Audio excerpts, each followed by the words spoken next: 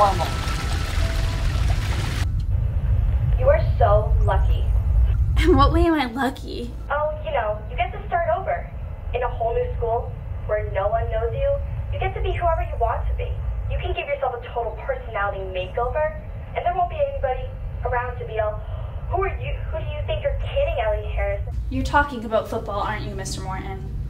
Miss Harrison, football. This is not about football. This is about the never ending battle between good versus evil. It's about being forced to stay there until someone can be born, raised, and learn to lead us out of it again. It's about failure, Miss Harrison. Oh, wait! Sorry, uh, your dad let me in. Is, is it a bad time? For which everyone on this planet is going to suffer for eternity, for the rest of the. Does this have anything to do with the Lily Maid of Astolat?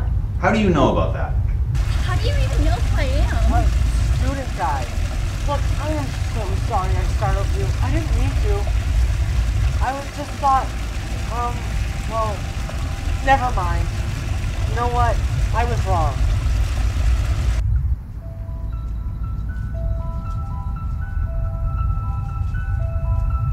I'm doing a project on her, remember? and will stepbrother mention something. Hmm, of course. If only I'd have stopped him when I had the chance. Stop who, Mr. Martin?